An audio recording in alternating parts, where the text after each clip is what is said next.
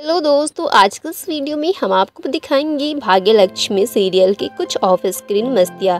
Well दोस्तों हम आपको बता दें कि भाग्य लक्ष्मी सीरियल के आज एक साल कंप्लीट हो चुके हैं। एंड ऋषि और लक्ष्मी की जोड़ी को फैंस काफ़ी पसंद करते हैं। Off screen Rohit and Aishwarya Sharma काफ़ी सोशल मीडिया पे एक्टिव नज़र आती है।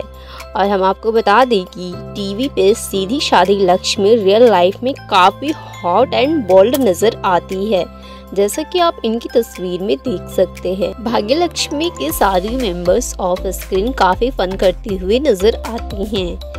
कि मस्तियों को फैंस काफ़ी पसंद करते हैं ऑफ़ स्क्रीन सीरियल में नेगेटिव रोल निभाने वाली मीरा शर्मा रियल लाइफ में और भी ज़्यादा काफ़ी हॉट एंड बोल्ड नज़र आती है।